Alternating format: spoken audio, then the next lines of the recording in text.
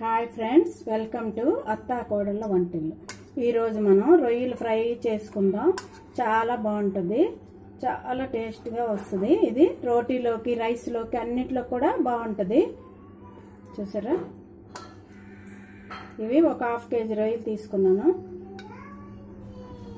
ఇప్పుడు చాలు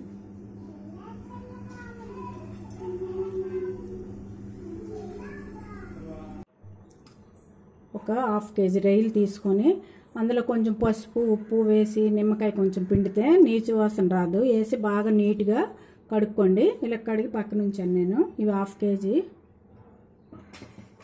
కళాయి పెట్టుకొని కొంచెం మసాలాకి వేపుకుందాం. కళాయి వేడెక్కింది. దీంట్లో ఒక టేబుల్ స్పూను ధనియాలు ఒక రెండు ముక్కల్లాగా కొబ్బరి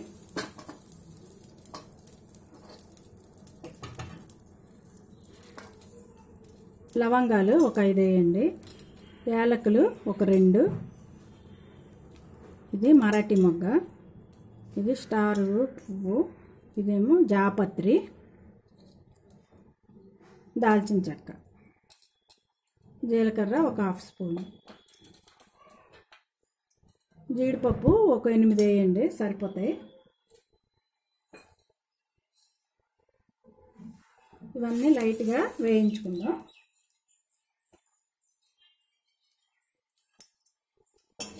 ఒక టూ మినిట్స్ వేయిద్దాం. ఇవి వేయించినవి ఒక పక్క తీసుకొని చల్లారి పెట్టాక మనం మిక్సీలో పౌడర్లో చేసుకుందాం. అందులోనే ఒక ఒక ఆరు నుంచి ఎనిమిది వరకు వెల్లుల్లి ఒక అల్లం ముక్క ఒక ఇంచు అల్లం ముక్క సరిపోతుంది. ఇది ఒక ప్లేట్కి తీసేసుకోండి.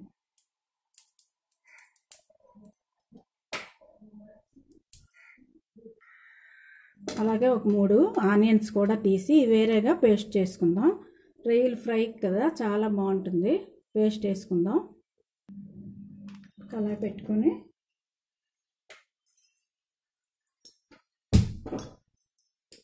ఆయిల్ ఒక ఆరు స్పూన్ల వరకు వేయండి.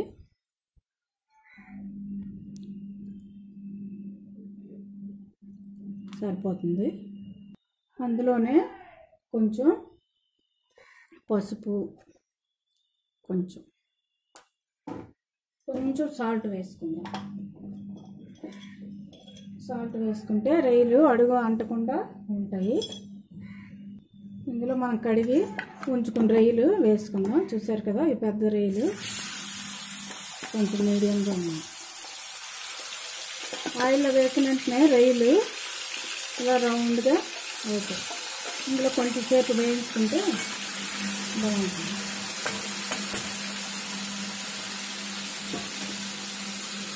ఒక ఫైవ్ మినిట్స్ వేయిద్దాం. ఇలాగా కొంచెం వేగాక మనం కలపాలి. చూసారా? రౌండ్గా ఇలాగ అవుతాయి. ఈ నీరు కొంచెం ఎగిరే వరకు వేయించుకుందాం. చూసారా? ఇలాగా నీరు చేరుతుంది కదా? ఇదంతా దగ్గరికి ఎగిరిపోవాలి. అంతవరకు ఇవి కొంచెం అలాగా ఉడికిద్దాం. ఇందులోనే మనకి హాఫ్ ఉడికిపోతాయి ఇవి. రొయ్యలు రొయ్యలేమో హాఫ్ బాయిల్ లాగా అయిపోతాయి ఇందులోనే మనం. తర్వాత మసాలా వేసుకోవాలి. ఈలోపు ఆనియన్ పేస్ట్ చూసారా? ఆనియన్ పేస్ట్ ఇలా మెత్తగా చేసుకుంటే సరిపోతుంది. మసాలా కూడా అంత ఇలాగా పొడి పొడిగా ఇలా తిప్పుకోండి. ప్లేట్ మూత పెట్టుకుంటే మనకి స్మెల్ పోకుండా ఉంటుంది. ఇలా మూత పెట్టుకోండి. పచ్చిమిర్చి ఒక మూడు. కొంచెం వాటర్ ఇంకాలి. రొయ్యలు వేగాయి కదా. ఇందులోకి తీసుకుందాం ఒక బౌల్లోకి. మనం కడిగిన బౌల్లోకి ఇలా తీసేసుకుందాం అన్నీ అన్నీ తీసుకుందాం. ఇందులో ఇప్పుడు ఆనియన్ పేస్ట్ వేసుకుందాం.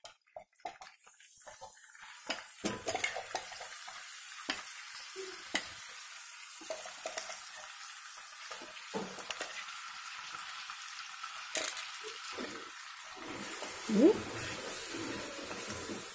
పచ్చివాసన పోయే వరకు బాగా కొంచెం బ్రౌన్ కలర్ వచ్చే వరకు కూడా ఆనియన్ పేస్ట్ వేయించుకోవాలి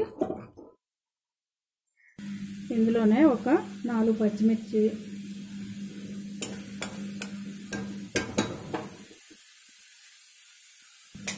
టేస్ట్కి తగినంత సాల్ట్ కూడా ఇప్పుడే వేసుకుందాం. ఇందులో కొంచెం వేసాం కదా రైలు వేపేటప్పుడు సాల్ట్ చూసుకొని వేసుకోండి. పసుపు కూడా కొంచెం వేసుకోండి.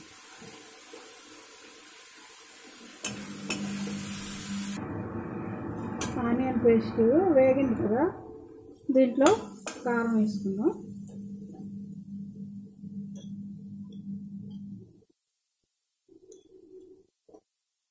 ఒక రెండు స్పూన్లు కారం వేయండి. పచ్చిమిర్చి వేసాం కదా సరిపోతుంది.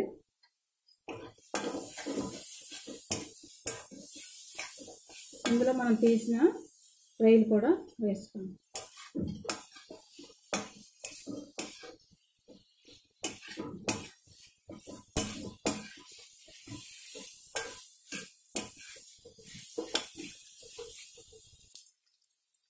ఒక హాఫ్ గ్లాస్ లాగా వాటర్ వేయండి.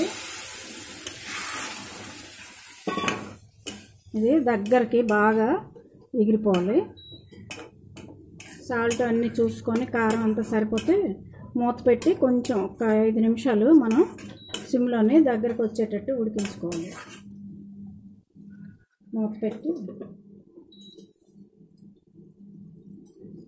ఐదు నిమిషాలు ఉంచుదాం. ఐదు నిమిషాలు అయింది కదా చూద్దాం. ఇలా దగ్గరికి అయిపోయింది కదా ఇప్పుడే మనం చేసిన మసాలా ఉంది. ఇది మనం ఇప్పుడు తీసుకున్న మసాలా అంతా వేసేయండి సరిపోతుంది. దానికి సరిపోయినంతే మనం తిప్పాం కదా. ఇలా పొడి పొడిగా తిప్పాలి. అల్లం వెల్లుల్లి ధనియాలు జీలకర్ర జీడిపప్పు కొబ్బరి ఓలుగారు మసాలా వేసాం కదా. చాలా బాగుంటుంది. హైలో పెట్టి ఒకసారి బాగా కలిపేసి ఒక టూ మినిట్స్ మనం మూత పెట్టి ఉంచామనుకోండి మసాలా అంతా బాగా ముందు వేయించాం కాబట్టి ఎక్కువ కుక్ అవ్వక్కర్లేదు. ఇవన్నీ రొయ్యలకి పడుతుంది. అందుకోసం ఇప్పుడు ఆయిల్లో పెట్టి కలిపాం కదా. ఇప్పుడు సిమ్లో పెట్టి ఒక టూ త్రీ మినిట్స్ మూత పెట్టి ఉంచండి. మనకి ఫ్రై లాగా పొడి పొడిగా వస్తుంది.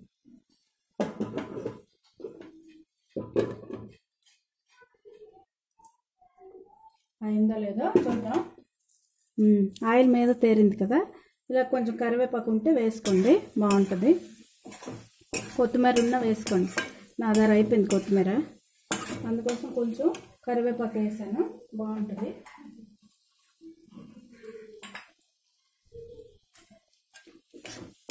చూసారా?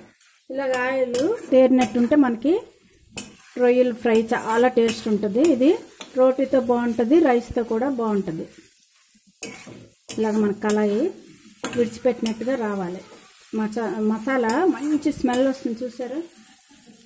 మీరు కూడా చేస్తే తెలుస్తుంది. నాకైతే స్మెల్ తెలుస్తుంది. రెడీ అయింది కదా పొయ్యి ఆఫ్ చేసుకుందాం డిష్ అవుట్ చేసుకుందాం. ఇది డిష్ అవుట్ చేసుకున్నాం కదా రొయ్యలు ఫ్రై రెడీ అయింది. ఈ వీడియో మీకు నచ్చినట్లయితే షేర్ చేయండి లైక్ చేయండి okay? Thank you for watching.